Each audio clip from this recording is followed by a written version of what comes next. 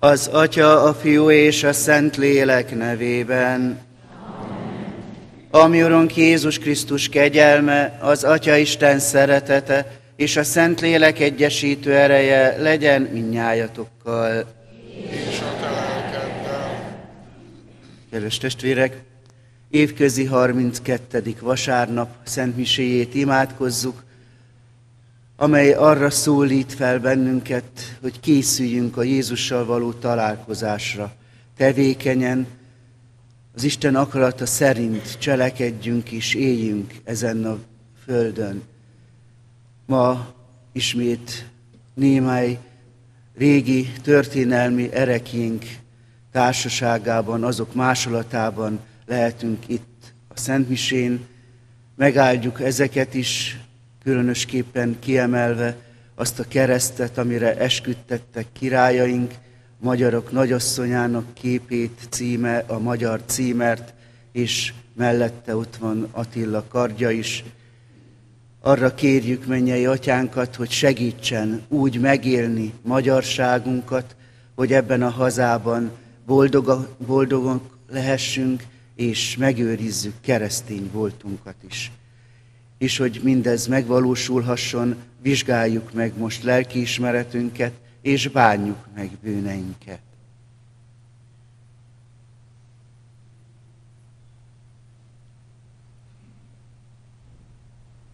Gyónom a mindenható Istennek, és nektek, testvéreim, hogy sokszor és sokat védkeztem, gondolattal, szóval, cselekedettel és mulasztással.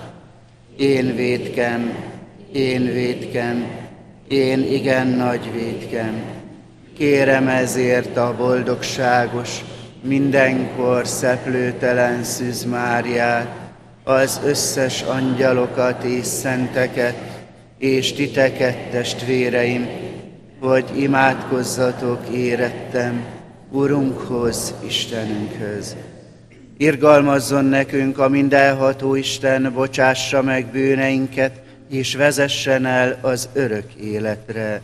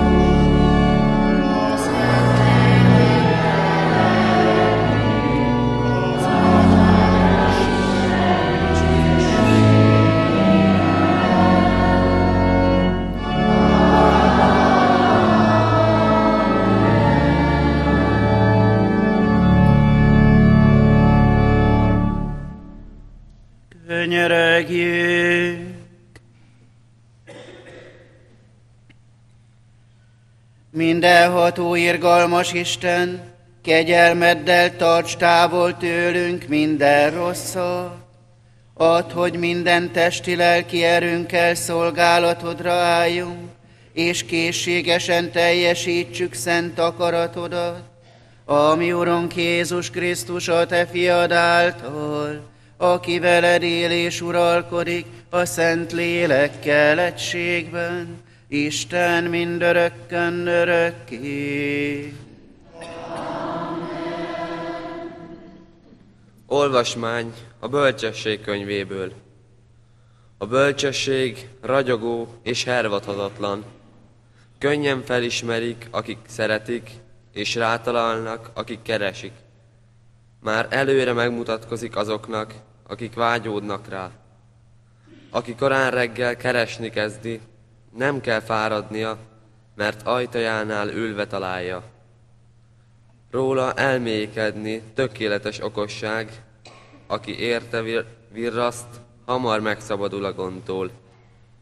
Hisz maga megy, s megkeresi azokat, akik méltók rá, barátságosan megjelenik nekik az úton, és minden szándékukban találkozik velük. Ez az Isten igéje.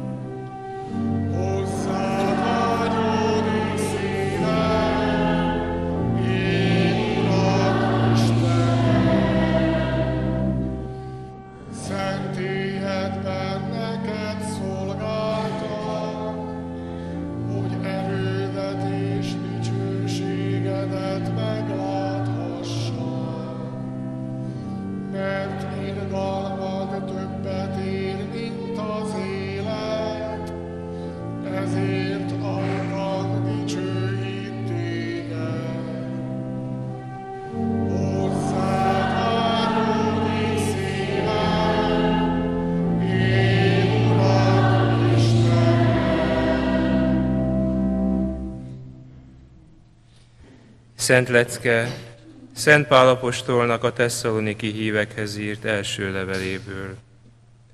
Testvéreim, az elhunytak sorsáról nem akarunk tájékozatlanságban hagyni benneteket, hogy ne szomorkodjatok, mint a többiek, akiknek nincs reményük. Ha Jézus, mint ahogy hisszük, meghalt és feltámadt, akkor Isten vele együtt feltámasztja azokat is, akik Jézusban hunytak el. Az Úr tanítása alapján ugyanis ezt mondjuk nektek. Mi élők, akik az Úr eljöveteléig megmaradunk, nem előzzük meg az elhunytakat.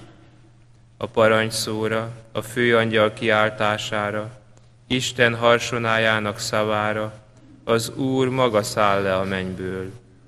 Először a Krisztusban elhunytak támadnak fel, azután mi élők, akik életben maradunk, velük együtt elragadtatunk a magasba, hogy találkozzunk Krisztussal, és örökké az Úrral legyünk.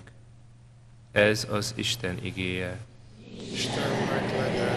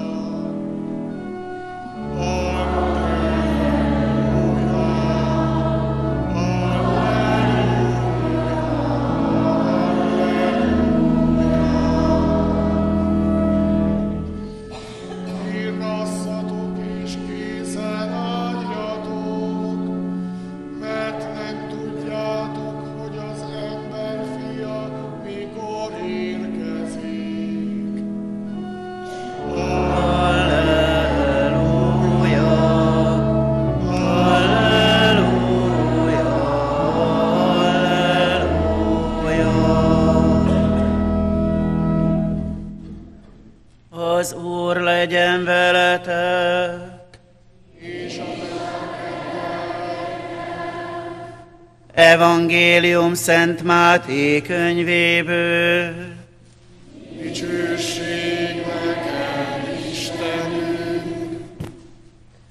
Abban az időben Jézus a következő példabeszédet mondta tanítványainak. A mennyek országa olyan, mint az a tíz szűz, akik vették lámpáikat, és kimentek a vőlegény elé. Öten közülük balgák voltak, öten pedig okosak. A balgák fogták a lámpásukat, de olajat nem vittek magukkal.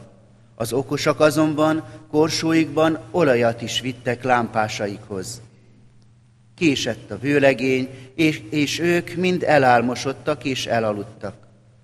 Az éjszaka közepén egyszerre kiáltás hangzott. Íme a vőlegény, menjetek eléje! Erre a szüzek minnyáján fölébredtek, és felszították lámpásaikat. A balgák kérték az okosakat. Adjatok az olajotokból, mert lámpásaink kialvóban vannak. Az okosak ezt válaszolták. Nem lehet, nehogy nekünk is, nektek is kevés legyen. Inkább menjetek el a kereskedőköz, és vegyetek magatoknak.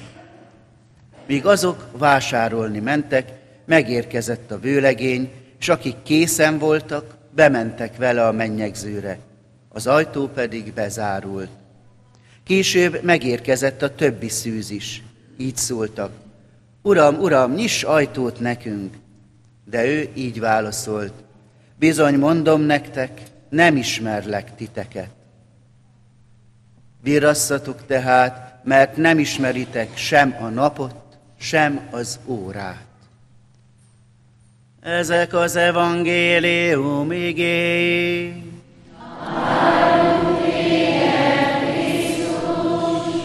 Az evangélium tanítása legyen bűneink bocsánatára.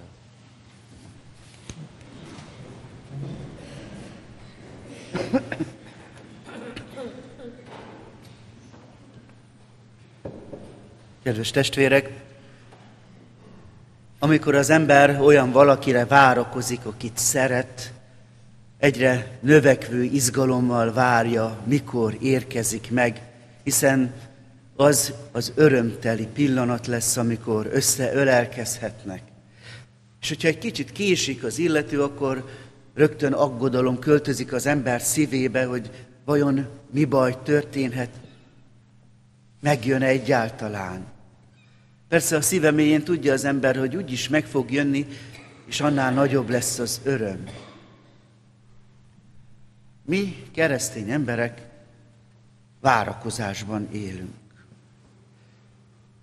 Várjuk szüntelenül azt, aki a szívünket lefoglalta, akit szeretünk, akit nem tudjuk, hogy mikor jön, mikor érkezik meg, sem a napot, sem az órát, de tudjuk, hogy jön. Hogy nincs már messze.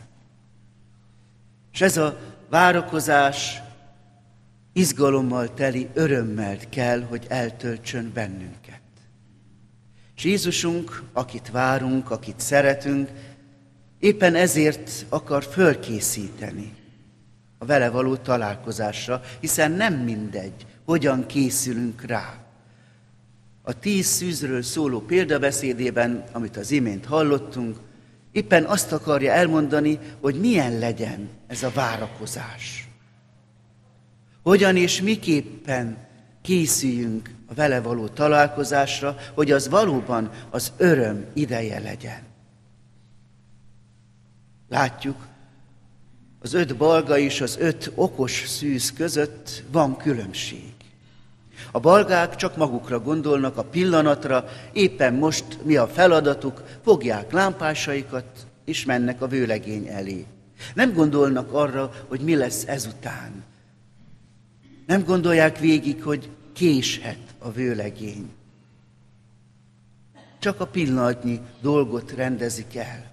Az okosak pedig éppen azért okosak, mert ők előre látóak.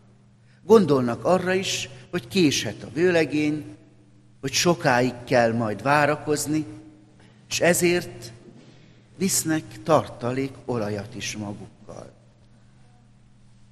És ők lám el is érték a célukat, hiszen amikor megjött a vőlegény, bemehettek vele a mennyegzőre, a balgák azonban kint maradtak.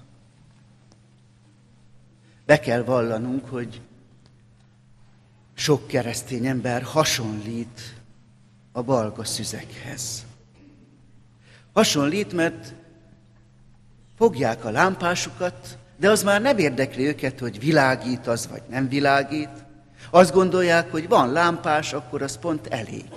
Ezek azok, akik azt mondják, hogy én hiszek, meg imádkozok is, de hát templomba nem járok, az arra nem nekem időm. Vagy azok is, akik eljönnek ugyan a templomba, de azt mondják, hogy ezzel együtt le is van tudva minden. És kilépnek a templomajtón, és már elfeledkeztek arról, miről beszélt nekik. Az Isten mit akart Jézus a szívükbe csöpögtetni, és már nélküle akarják élni az életüket. Ezek azok, akiknek van lámpásuk, mintha balga szüzeknek is volt, talán egy kis ideig égett is, világított is, de aztán elfogyott az olaj. Mert nem töltötték fel újra és újra, kialudt a lámpa. És éppen ez mutatja, hogy tettek nélkül nem sokra megyünk. Beszélni könnyű, hogy én hiszek, de hogyha nem látszódik meg, akkor sokra nem megyünk vele. Valaki egyszer azt álmodta, hogy ott áll az Isten ítélőszéke előtt. Rögtön mutatta is a kezeit az Istennek. Látod, Istenem, én nem loptam, nem öltem, semmi rosszat nem tettem, és az én kezeim tiszták. És az Isten azt válaszolta, valóban, a kezeit tiszták, de üresek is. Mert üres kézzel nem lehet oda menni az ítélőszék elé. Tele kézzel kell mennünk, de nem mindegy, hogy mit viszünk. Jézus éppen azt akarja elérni, hogy mi tevékeny szeretetben éljünk. Olyan tevékenyen, hogy látszódjék rajtunk, hogy kihez tartozunk, hogy kik vagyunk. Ha el akarjuk rejteni önmagunkat a világ elől, nem akarjuk, hogy meglássák, hogy mi keresztény emberek vagyunk, hogy mi Jézus szolgálatában állunk, őt követjük, akkor van ugyan lámpásunk, de az nem világít. Márpedig mit használ? A nem világító lámpás. Hiába van a legmodernebb kájhám, hogyha nincs tüzelő anyagom, hogyha nincs fa, szén, olaj vagy gáz, akkor hiába teszem oda a kezemet, hogy megmelegítsem rajta, legfeljebb odafagy. De föl nem melegedhetek. Az üres, tettek nélküli szív nem az Istenhez tartozik. És éppen ezért nekünk mindent meg kell tennünk, hogy tevékenyen éljünk. Persze nem kell megérnünk, nem kell lehozni a csillagokat az égről, nem kell hatalmas, világra szóló nagy dolgokat tenni. Sajnos éppen ez a baj legtöbbször, hogy azt várjuk a nagy lehetőséget, hogy megmutassuk majd, hogy mi is tudunk valamit tenni. De a nagy lehetőség mindig elmegy mellettünk, mert a kicsiket nem vesszük észre. Baltimore-ban egy villamos vezetőnek, aki megérkezett a végállomásra, éppen 7 perce volt a visszaindulásra. A végállomás egy nagy tér volt, tele bokrokkal, fákkal, nem nagyon foglalkozott senki vele, az emberek is messzire elkerülték, tele volt gizgazzal, burjánzott a növényzet, nem is volt szép látvány. Egyszer aztán elhatározta a villamos vezető, hogy azt a kis időt, ami van a két menet között, azt munkával tölti. Elkezdte megnyesni a bokrokat, kitisztítani a fákat, virágokat ültetett, rózsát, árvácskát, és egyre szebb lett a kert. Az emberek egyre jobban felfigyeltek rá, elkezdtek ott sétálni, birtokba vették a teret.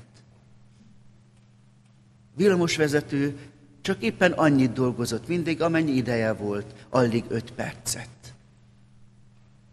És közben a sok-sok öt perc meghozta az eredményét, megváltozott a tér, már örömmel vették az emberek birtokba. Mi is azt hisszük, hogyha csak a nagy dolgokat tesszük meg, akkor az látványosabb lesz. Pedig ott vannak a kis, apró feladataink, amik ugyan nem látványosak, de mégis a kötelességeink lenne. Mégis meg kellene tennünk. És nekünk nem nagy dolgokat kell tennünk, hanem ezt az alig öt percet kihasználnunk. Hiszen van mindannyiunknak ebben a rohanó világban is néhány perce, hogy valami jót tegyen. Nem is kell nagy idő ahhoz, hogy mosolyra húzódjon a szám. Hogy kedves szót mondjon a vele találkozóval.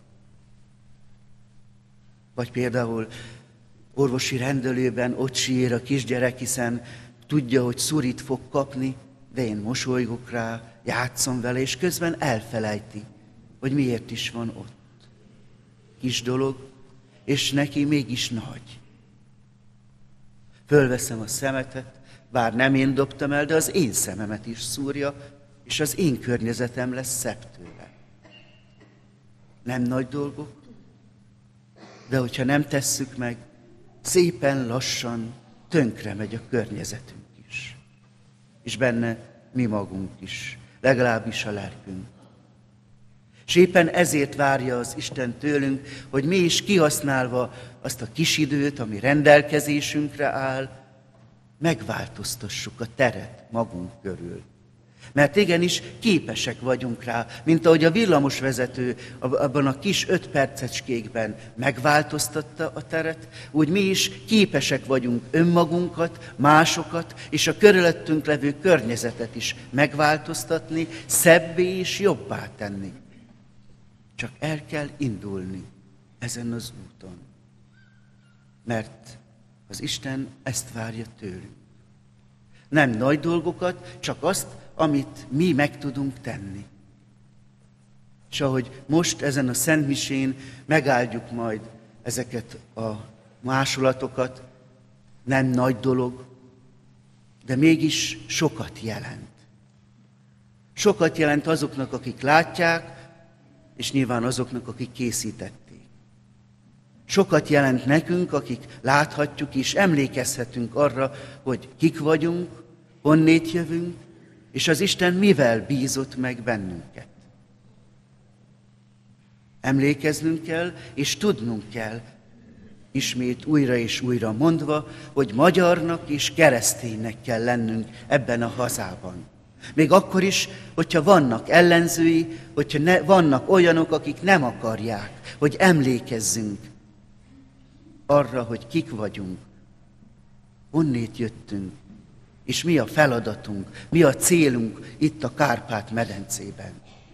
Mi akkor is kell, hogy emlékezzünk, és ezek az, e, a másolatok segítenek emlékezni. Újra és újra fölidézik bennünk, hogy István király örökösei vagyunk, hogy ő nem csak király volt, nem csak magyar volt, hanem szent is. Emlékezzünk, hogy kinek ajándékozta ezt az országot, a magyarok nagyasszonyának, hogy a Szent Korona, amelyel megkoronáztatott, a mi számunkra jelenti az igazi országot, az igazi államot ebben a hazában. Ezért kérjük mindenható Istenünket, áldja meg ezeket másolatokat, hogy akik rájuk néznek, emlékezzenek magyar voltukra, emlékezzenek kereszténységükre, és Isten dicsőítsék mindig, most és majd életük végéig is. Amen. Most pedig megáldjuk ezeket a másolatokat, hogy valóban az Isten áldása kísérje őket, bárhová kerülnek is majd el. Segítségünk az Úr nevében. Uram, hallgassd meg könyörgésünket. Könyörögjünk, mennyei atyánk, te mindig megajándékozol bennünket azzal az örömmel, hogy téged szolgálhatunk abban a tevékenységben, amit ránk bíztál. Tudjuk, hogy azért küldted Szent István királyunkat népünk élére, hogy megmutassa azt az utat, amelyen járnunk kell.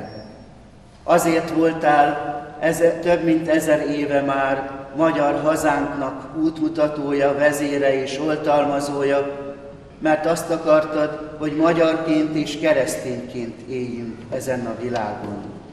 Kérünk, Urunk, áld meg és szenteld meg ezeket a másolatokat, hogy mindazok, akik rátekintenek, emlékezzenek az általad adott feladatokra, emlékezzenek magyarságukra és keresztény voltukra.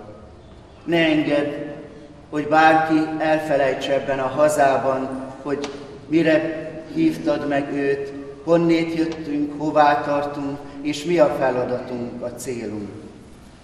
Üzd el ezektől a másolatoktól mindazt a gonoszságot, amely félre akarja vezetni a magyarságot. Üzd el mindazokat, akik bántani, ártani akarnak az egész országnak. Kísérje áldásod e másolatokat, és enged, hogy mindig a te áldásod és kegyelmet kísérje őket, bárhová is kerülnek ezen a földön. Add meg, hogy mindannyian tisztelettel és szeretettel gondoljunk szent elődeinkre, akiket elénk idéznek a jelképek, és engedd, hogy őket követve mi is hűségesen szolgáljunk neked, Krisztus, ami Urunk által. A mindenható Istennek, az Atyának, a Fiúnak és a Szentléleknek áldása szálljon ezekre az jelképekre, és maradjon rajtuk mindenkor. Amen.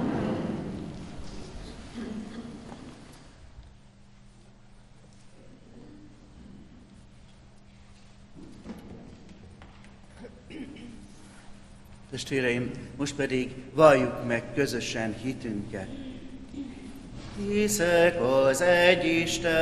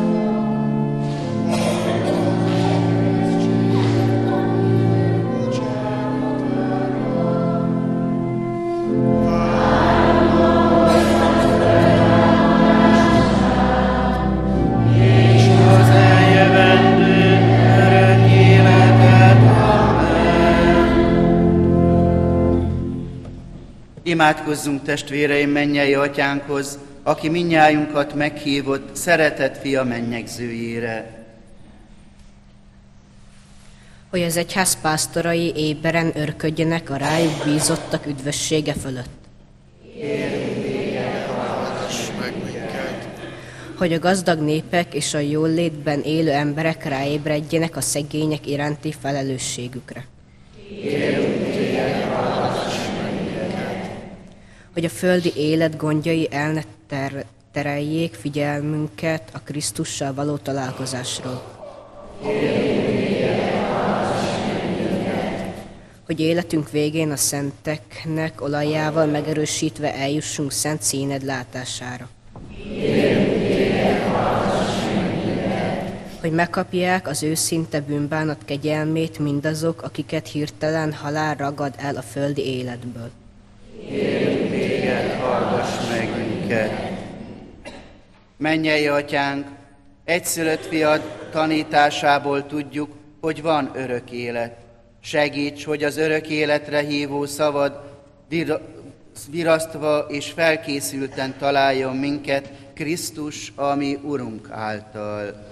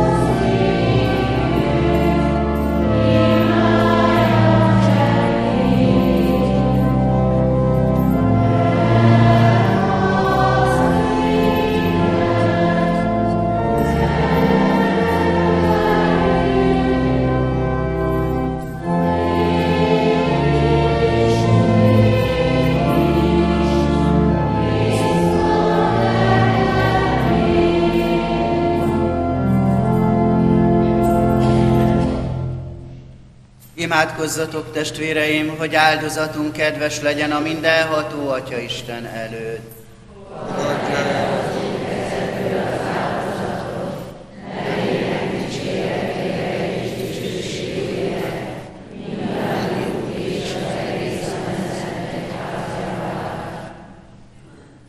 Kérünk Istenünk, tekints meg engesztelődve erre az áldozatra, hogy szívünk odaadásával elérjük, amit fiat halálára emlékezve ünneplünk, aki él és uralkodik mindörökkön örökké.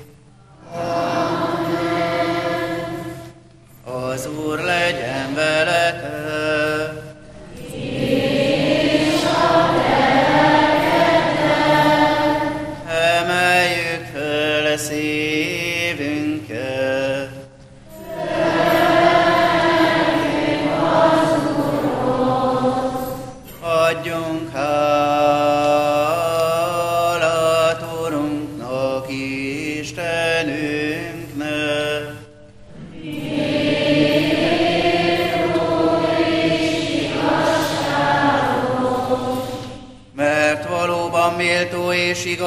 Igazságos, élő és üdvös, hogy mindig és mindenütt hálát adjunk néked. Mi Urunk, szentséges Atyánk, mindenható örök Isten, mert Te alkottál mindent, amiből a világ épül, az idők járásának Te szabtál törvényt, a Te képmásodra formáltad az ember, sőt, hatalmába adtad mindazt, amit a világban ámulva látunk, hogy helyettesedként uralkodjék minden művedet, és nagy tetteidért szüntelenül magasztaljon téged, Krisztus, ami Urunk által. És ezért mi is dicsőítünk az összes angyalokkal együtt, vidám lélekkel éneklünk, és hálás szívvel zengjük.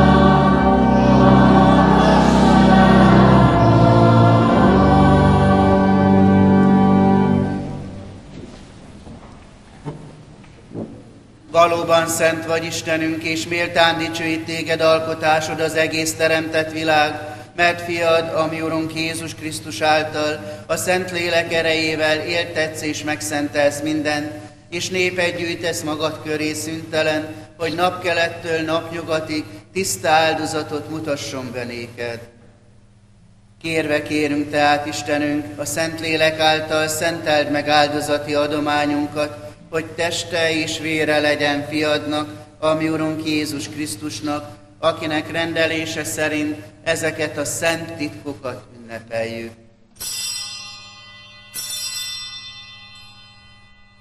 Ő ugyanis azon az éjszakán, amelyen elárultatott, kezébe vette a kenyeret, és neked hálát adva áldást mondott, megtörte, majd tanítványainak adta, és így szólt. Vegyétek és egyetek ebből minnyájan, mert ez az én testem, mely értetek adatik.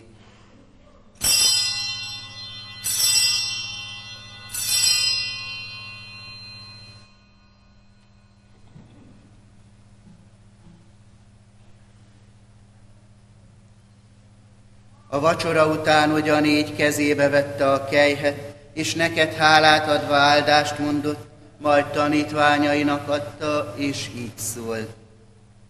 Vegyétek, és igyatok ebből minnyájan, mert ez az én vérem kejhe, az új és örök szövetségé. Ez a vér értetek, és sokakért kiontatik a bűnök bocsánatára. Ezt cselekedjétek az én emlékezetemre.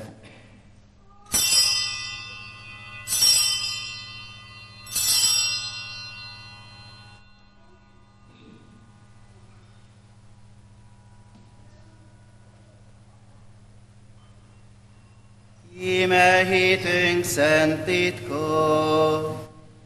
Halálodat hirdetjük, Urunk, és hittel valljuk föltámadásodat, amíg el nem jössz.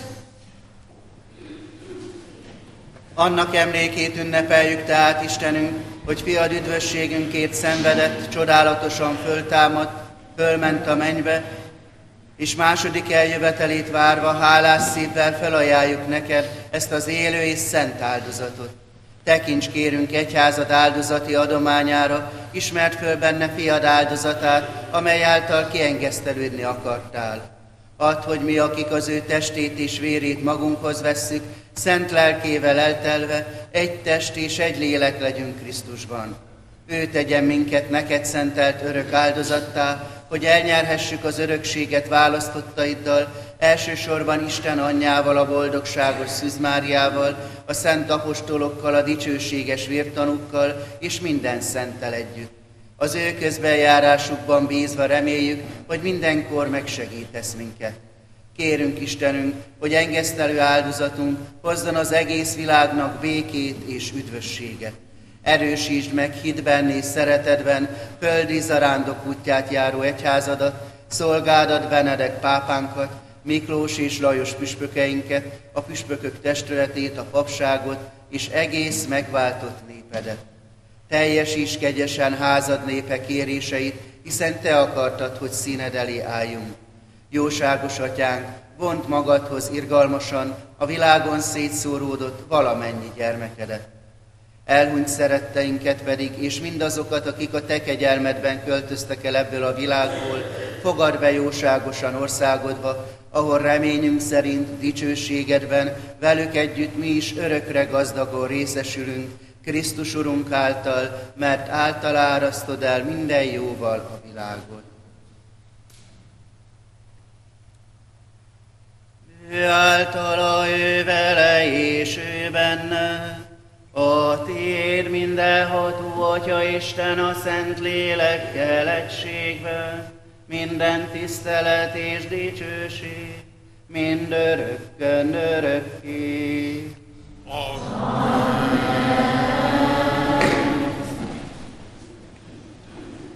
Üdvözítünk parancsára, és Isteni tanítása szerint így imádkozunk.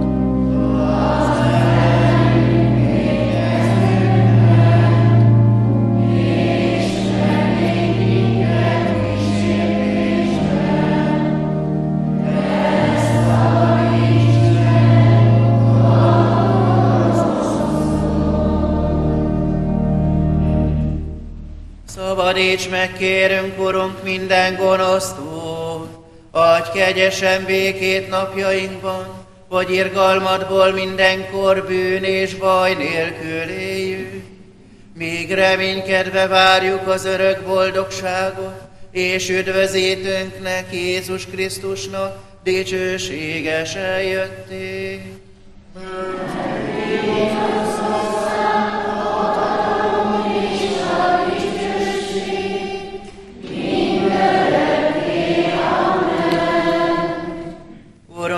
Jézus Krisztus, Te azt mondottad apostolaidnak, békességet hagyok rátok, az én békémet adom nektek.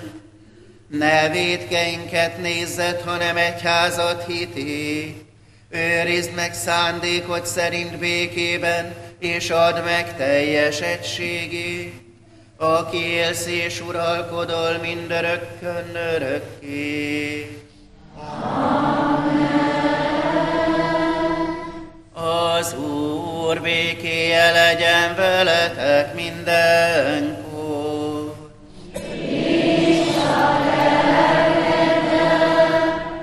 Köszöntsük egymást a béke jelével.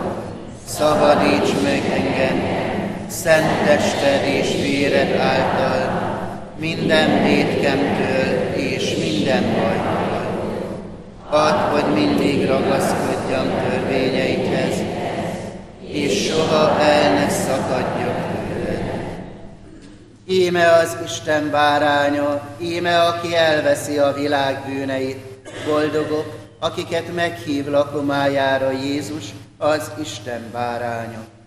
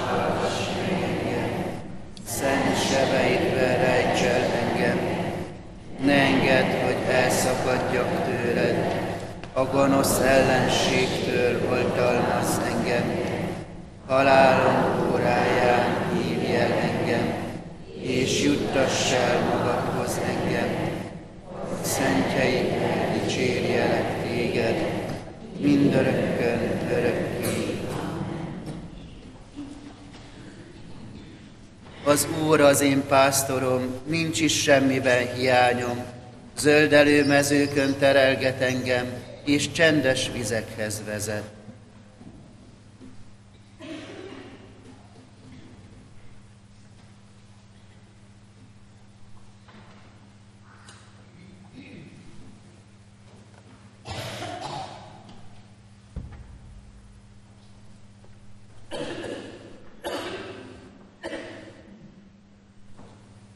Könyörögjünk! Hálát adunk Istenünk, hogy szentségi ajándékoddal tápláltál minket. Kérjük, hogy szent lelked kiáradása által maradjon meg az igaz lelkűség kegyelme mindazokban, akikben mennyei erőd működni kezdett. Krisztus, a mi Urunk által.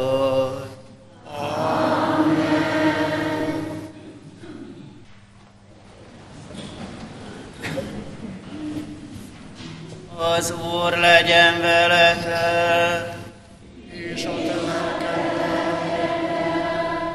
áldjon meg benneteket a mindenható Isten, az Atya, a Fiú és a Szent Lélek. Amen. A Szent Mise véget ér, járjatok békével.